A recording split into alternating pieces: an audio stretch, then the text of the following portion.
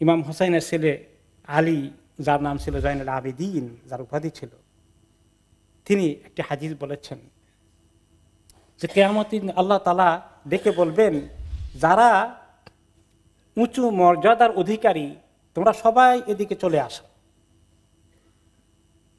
তোমরা সবাই জান্নাতে যাওয়ার জন্য এদিকে আসো। বেশ কিছু লোক উঠে আসবেন এবং তারা, তাদেরকে ফেরেস তারা বলবেন বা আল্লাহর পক্ষ থেকে বলা হবে, তোমরা জান্নাতের দিকে চলে যাও। জান্নাতের দিকে যাচ্ছেন ওনারা। হিসাব নিকাশ ছাড়াই জান্নাতে চলে যাচ্ছেন। ফেরেস তারা বলবেন, কোন দিকে রওনা হয়ে গেলেন সবাই? হিসাব নিকাশ তো এখনও হয়নি। তারা বললেন যে আমরা তো জান্নাতে যাব। হিসাবের আগেই জান্নাতে যাবেন? কেমনি? হ্যাঁ আমরা অবশ্যই হিসাবের আগে জান্নাতে যাব। তাহলে বলো যে, হিসাবের আগে জান্নাতে যাওয়ার জন্য আপনাদেরকে পারমিশন দেওয়া হয়েছে? কি কারণে বলেন তো? আপনারা কারা? বলেন যে, আমরা হচ্ছে ওই লোকগুলো যাদেরকে আল্লাহ তালা অতিরিক্ত মর্যাদায় ভূষিত করেছেন।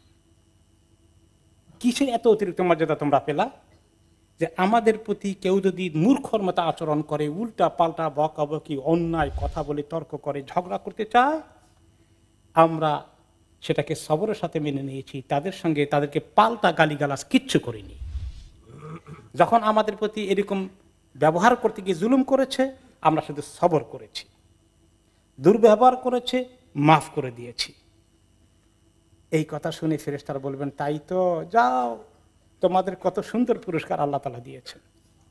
আসুন, তাহলে আমরা ঝগড়া, ফাসাদ বন্ধ করতে পারি কিনা হে ভাই বোনেরা স্বামী, স্ত্রীগণ, যারা ঝগড়ায় আছেন, তর্কে আছেন, কষ্টে আছেন সেপারেশনে আছেন, তালাকের দিকে চলে যাচ্ছেন, এই জিনিসগুলো একটু মাথায় ঢুকায় যে আমরা যে সবর করি, মাফ করে দেই আল্লাহ তালার কাছে আমাদের কি বিশাল পুরস্কার আছে?